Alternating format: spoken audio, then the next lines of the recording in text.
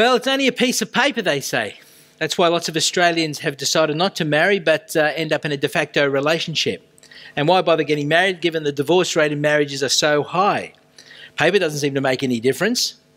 And yet, it's interesting that we do know statistically that de facto relationships have a much higher breakup rate and domestic violence rate.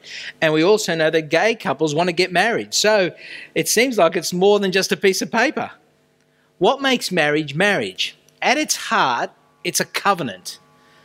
And as we continue our series now, we're on week three, and as we look at exploring union with Christ, we're going to go into the past and see how our God is a God of covenant, a God who binds himself to his people, a God who binds himself to his covenantal promises to do good to us. Um, let's begin with um, the marriage covenant, because that's the one we know and work from there. Malachi uh, that great Italian, Malachi, Italian uh, prophet. That was a bad joke.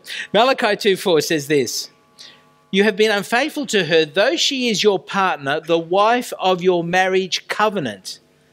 So, marriage is a covenant. What do we mean by that? It's, it's, it's built on promises that have become formalized. Uh, God makes it clear, covenants make clear um, not only the promises that are made, but the expectations in whatever covenantal relationship you're in.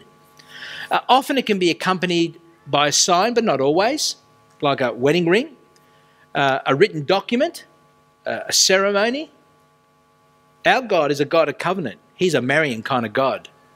Uh, God's not interested in just dating his people until, you know, something better comes along. He's not simply interested in turning up because it suits him or he wants to be your friend with occasional benefits. God is a God of covenant. He makes promises and then turns those promises into formal contracts that we call covenants. The first covenant uh, that's recorded explicitly in the Bible is that with Noah. There, God had promised after that great flood never to unload a flood of world proportions ever again. In Genesis 9, verse 11, he says this and then verse 13 I establish my covenant with you. Never again will all life be destroyed by the waters of a flood. Never again will there be a flood to destroy the earth. Then in verse 13, I have set my rainbow in the clouds, and it will be the sign of the covenant between me and the earth. So the covenant isn't so much just with Noah, it's actually with the whole of creation. It's a covenant that's really one sided. There's no, it's not dependent on the faithfulness of, of, of humans. That is, regardless of how badly we have behaved, God has committed himself to never let a flood of world proportions ever happen again. And guess what? That's exactly what's taken place. The God who cannot lie has kept his word.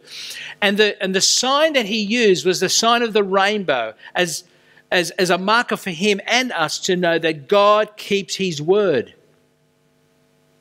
You can trust him. Next is the covenant with Abraham 4,000 years ago. And the, really, the promises to Abraham are steering, are the, kind of like the steering wheel for the whole of the Bible. Every event in the Bible is a fulfillment of the promises made to Abraham one way or another. So, Genesis 12, uh, God begins again with a new word to an old man and an infertile wife. This 75 year old Iraqi pensioner, Abraham, as I like to call him, uh, is given a word. Just like God had given a word at creation, now he begins again. This time he's telling Abraham to go. Go and leave behind the sin of Adam and the sin of Cain. Leave behind the generation of Noah's rebellion and the Tower of Babel that wanted to make a name for themselves. Leave behind the gods of your father Abraham and go to the place that I will show you. Now, God never gives a command without a promise. And here are the promises verses 1 to 3. Genesis 12, 1 to 3.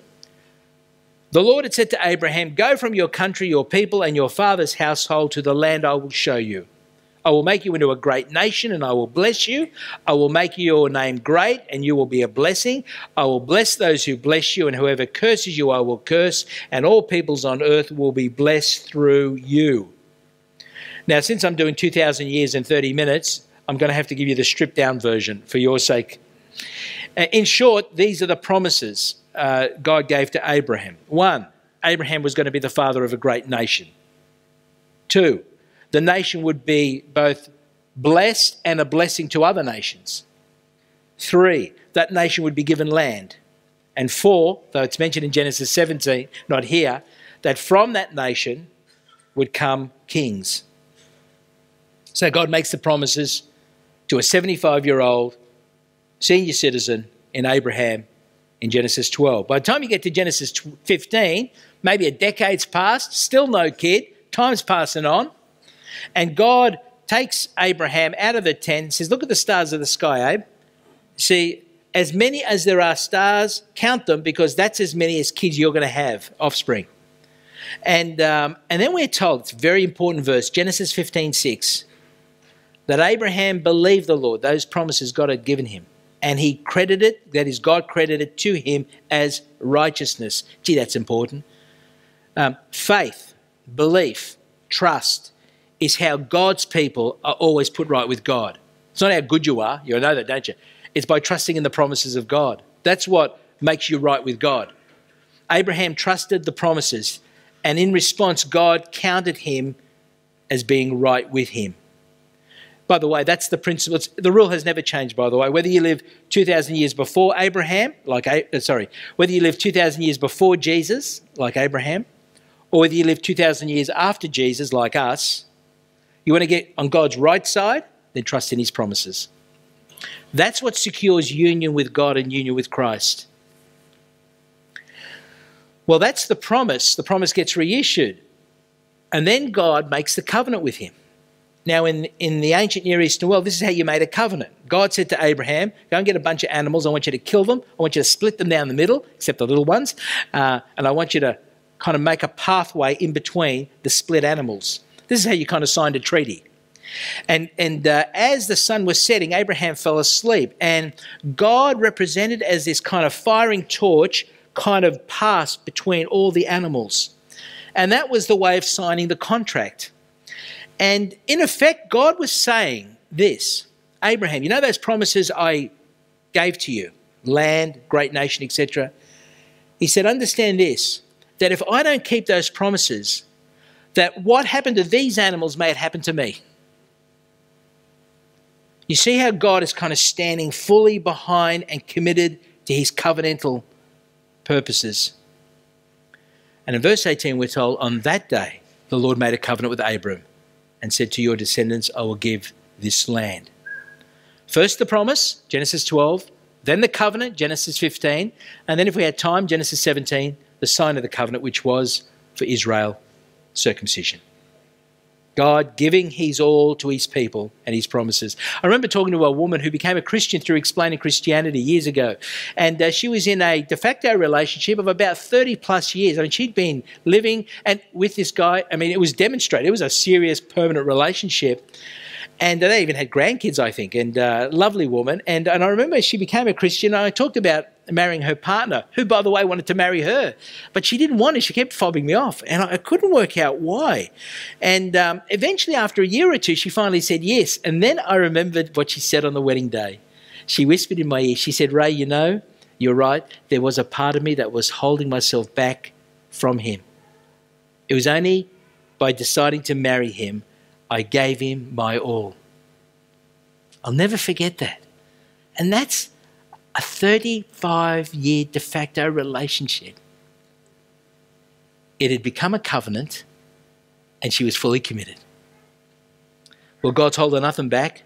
He fully binds himself to his promises. And now, from Abraham, the next thousand years, God begins to systematically fulfill these promises. So, we're going on a bit of a ride.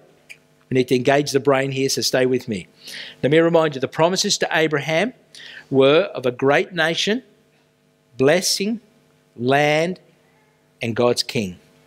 So, point A, the promise of a great nation. From Genesis 12 right through to the Exodus 18, the children of Abraham just get bigger and bigger and bigger. That is, more and more of them. So, it takes 25 years before Abraham finally has a kid. He's 99, Sarah's 85. By the end of Genesis, now four generations later, there's about 70 of them. Flip the page, you're in the book of Exodus, chapter 1, and all of a sudden they breed like rabbits. They're everywhere. Exodus 1 7. But the Israelites were exceedingly fruitful. They multiplied greatly, increased in numbers, and became so numerous that the land was filled with them. God was keeping his promises. A bit like my Uncle Charlie's family. Uh, in four generations, they'd become 70. I said, Cousins, you're on your way to becoming a country at this rate. The only difference is my Uncle Charlie didn't start having a kid at 99, and his wife wasn't infertile and didn't start having a kid at 85. Oh, they had become a great nation. The promise had been kept. God can be trusted. You just got to be patient because He's not in a hurry. Well, then God promised to bless His people. And uh, point B, we see that from Exodus 19 to Leviticus in the Mosaic covenant. God had saved his people, Israel, from their enslavement to Egypt. He brought them through the Red Sea and placed them at the foot of Mount Sinai, and there had entered into a marriage covenant with now his people, Israel. Uh, in the outline, in, the, in your uh, sermon outline, you'll notice I put the Mosaic covenant as like a on the side because it's a subset of the Abrahamic covenant. It's not just a distinct covenant; it's a sub. It's playing out that covenant, giving it kind of further dimensions. So here is God at Mount Sinai. He has his people gathered around him at this holy mountain, and it's kind of like, you know, when the bachelor hands the rose over to the one he wants and against all the other women. Okay, picture that. I don't know if that's a good picture, really. Exodus 19, verse 5. Now, if you fully, if you obey me fully and keep my covenant, then out of all nations, you will be my treasured possession. Although the whole earth is mine, you will be for me a kingdom of priests and a holy nation. You're the one that I want. Ooh, ooh, ooh, honey. Israel is singled out to be a holy nation, set apart from other nations, to be a light to other nations, can I say? I will be your God, you will be my people. This is a marriage contract. And Israel would know how to love God because of the covenant stipulations, the, the, the, commands. That's what the Ten Commandments are. God's saying, You want to love me? This is how you love me, Israel, my bride. So, Exodus 20, verses 1 to 3. Get the, let's get the first one clear. And God says, God spoke all these words I am the Lord your God who brought you out of Egypt, out of the land of slavery. You shall have no other gods before me. Like your marriage vows, it's exclusive covenant forsaking all other lovers. You know, God never apologizes for being a jealous God, and nor should you. If your spouse has been with another, I mean, yes, I encourage you to forgive them, but can I say the act of fear, experience of feeling jealousy is the right feeling. God never apologizes. When, when you get an exclusive relationship and there's been a breach in that, then jealousy is exactly the right feeling. I mean, managed still in a godly way, but yeah. Unlike the covenant with Noah, this was going to be a conditional covenant, though. If they had turned to other gods, Israel would have to pay the price. If she became an unfaithful bride, which she did, then there was a cost involved. But what's clear is Israel knew exactly where she stood in this covenant relationship with God. He made it very clear. You know, can I say, using the de facto marriage analogy again, uh, the difficulty with many de factos, not all, but most de factos, is that there's no clear covenant, there's no clear promises. Uh, and things are kind of assumed, and that's where trouble happens. So, um, is this a casual relationship, or a permanent casual relationship, or is this lifelong? Um, are, are, you the love of my life, or are you just waiting till someone better comes along? Um, my friend asked me, he's actually a minister, and he went to visit a couple who were in a de facto relationship, they wanted to have their child baptized. And so he, he started talking, and then he said, By the way, just what's your expectation in this relationship that you're in? And at the very moment she said forever, he said three years. Well, that was a little bit awkward. You see, because there was no covenant, there were no public promises, there were no stipulations. It was kind of they fell into it with very different expectations. Well, Israel had no problem. She knew exactly where she stood. God had saved her and then defined what love looked like. So, one of the blessings was God giving Israel his law, but the other blessing was giving Israel his presence, himself.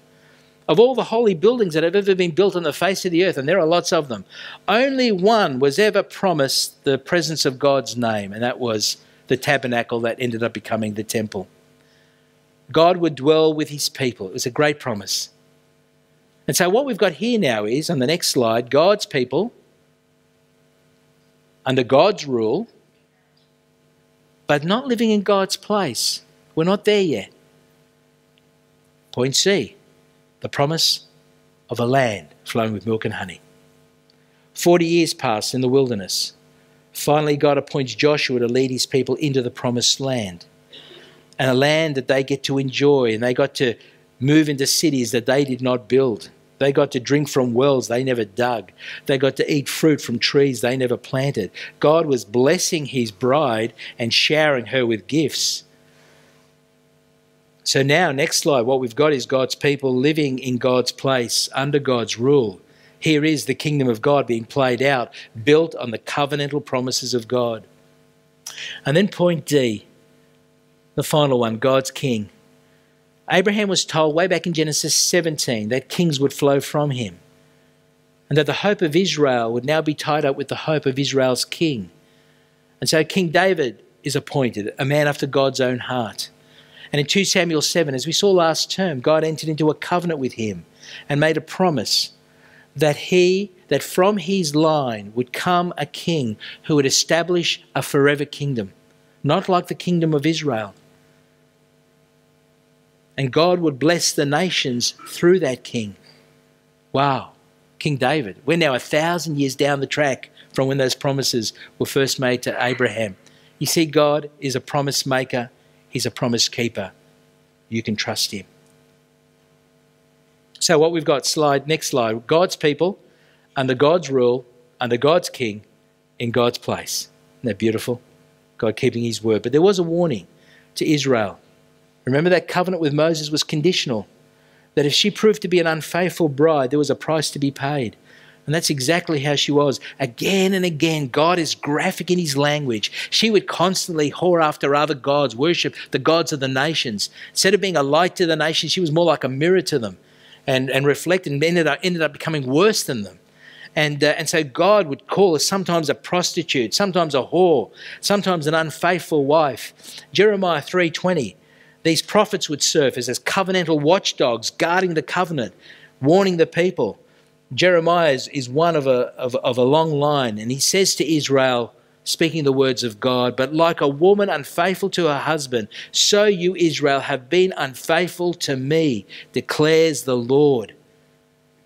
And he warned his bride if you keep on doing it, if you keep on doing it, if you keep on doing it, you will break this marriage covenant that I made with you, Israel. And after century after century after century of long, long patience on God's part.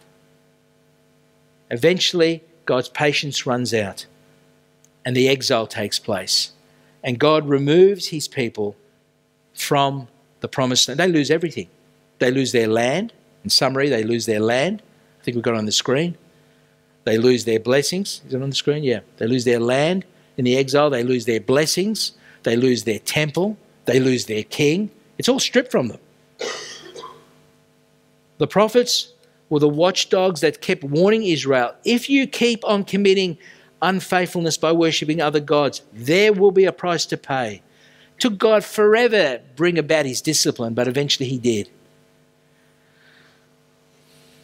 And yet the covenant with Abraham still remained intact.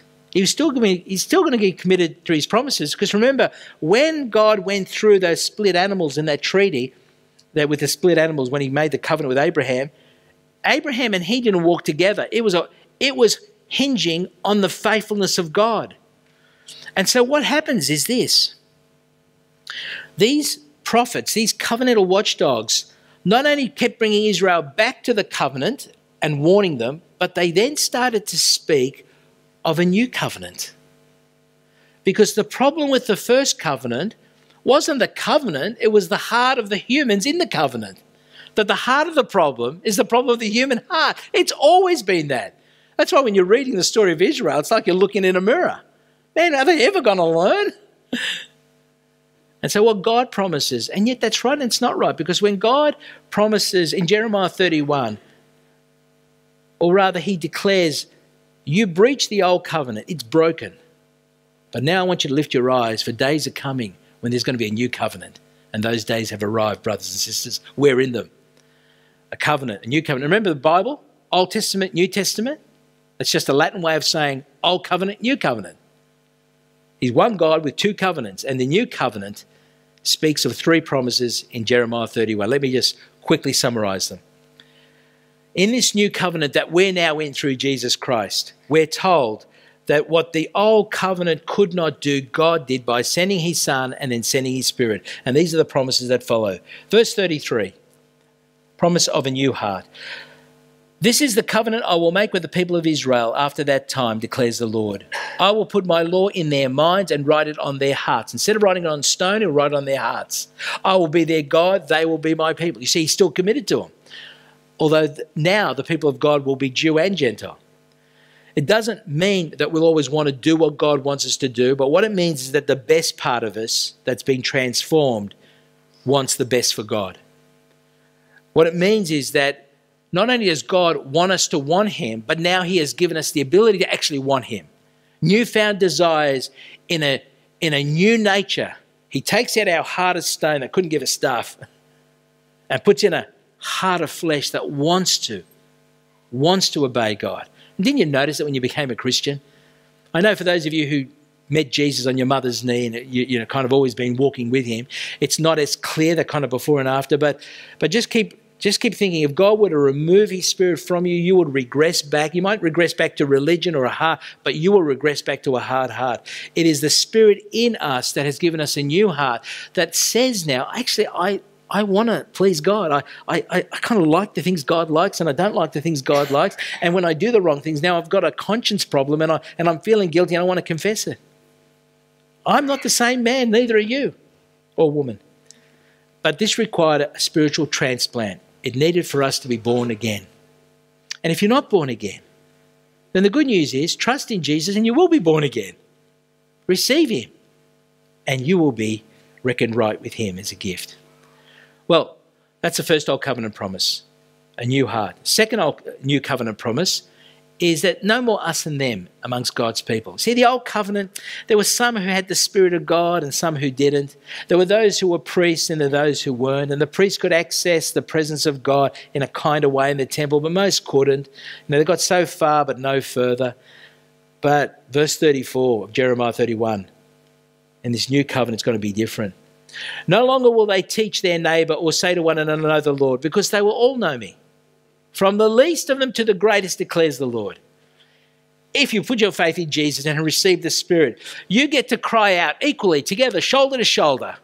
Priest, uh, sorry, pastor, congregation, doesn't matter who you are, no matter what gift you have, no matter how quickly it's been, how long it's been since you've come into the covenant community, you get to call the judge of all the earth dad, full access. I remember talking to one guy, he'd, he'd sort of lived a long life of hardcore rebellion. And I said, compare you and me. Look at the differences between us. I, I, became, I gave my life to Jesus 35 years ago. I've been pastoring for 25 years. I tell you right now, if you said yes to Jesus now and put your trust in him, you will be as righteous as I am, and together we'll be as righteous as Jesus is. In an instant, that takes place through trust in the promises of God. They will all know me, from the least to the greatest. There's no more us than them. And then, thirdly and finally, in the Old Covenant, let's face it, there was no forgiveness for adultery and murder and abortions, and you know, that's it. Just, there's, just a, there's just a death penalty. But in the New Covenant, ah, verse 34b, I will forgive their wickedness and remember their sins no more. Now, you and I know that feeling of being reminded of some past sin that you've already confessed and repented of, but that guilt drives you to confess it one more time just in case. You just need to know that when you do it again and again, God is looking at you and saying, I've got no idea what you're talking about. You can keep confessing it, but I don't know what you're talking about. Because I made a promise and by golly, I stick to my promises. And I made a covenant. And in that covenant is if you come to my son Jesus, I will remember your sins no more. So, yeah, you may want to come thanking God for the forgiveness that He's given you. That's the best way to treat that guilt. But stop actually keep stop confessing the same sin that you've repented of in the past. That is itself an act of faith and claim the forgiveness that is yours in Christ Jesus. And you will find that your Christian walk will be a much better walk, let me tell you, a more joyful walk. Well, friends, in closing, our God is a covenant keeper. Psalm 15, he says, he, uh, Those who um, come into the presence of God keep their oaths even when it hurts. As a community, we need to stand shoulder to shoulder in support of the marriage vow. Because remember, marriage points to Christ and his people, the church. So I'm going to invite everybody to stand up, not just the married folk. Everyone stands up because symbolically, whether you're single, whether your spouse is with you or not, whether you're in a de facto divorce situation, whatever your scenario, we're standing shoulder to shoulder as broken, forgiven people. And then for those of you who aren't in a present marriage situation, you may want to quietly pray as those who are married. Those of you who are married, you may want to hold hands. Um, work through these vows. And remember, you're not getting married, it's the word continue. It's the vows in an ongoing, you're reclaiming them, as it were, and making them yours afresh. Well, it's going to be the, the, the vows are on the screen. Now, of course, I'm going to say, you're going to hear Ray, but I don't want you to say Ray because you're not Ray. Unless, of course, Ray is here. And, and you know, don't marry my wife, um, you marry your own. Uh, and you just need to make the natural kind of appropriate applications. But, um, but I really want to thank those of you who aren't married who are actually standing, because do it in a conscious way, because everyone has to guard marriage, just not married people. Everyone, single, divorced, widowed, together. I, Ray, in the presence of God, continue to take Sandy, as my wife. From this day forward, for better, for worse, for richer, for poorer, in sickness and in health, to love and to cherish as long as we both shall live. This continues to be my solemn vow and promise. May God help me to be faithful to it. Amen. Remain standing and let me close in prayer. Oh, Heavenly Father, thank you so much for my brothers and sisters as we stand shoulder to shoulder, siding with Jesus, who said, What God has joined together, let no person separate. May we protect, nourish, and strengthen the marriages of this church. Help us, Lord, who are single, to be content and forge healthy friendships. Comfort those who are wounded in divorce. Strengthen those who are single parents Comfort those who are grieving the loss of a spouse through death. Comfort those who are living with the pain of a spouse being adult, uh, entering into adulterous relationship, Lord. May they know that you are a faithful God. Forgive us all, Lord, for those times we have wounded others and you in whatever relationships we have found ourselves in. And thank you for your covenant promises that through Jesus alone you will remember our sins no more. In Jesus' name we pray. Amen. Please be seated.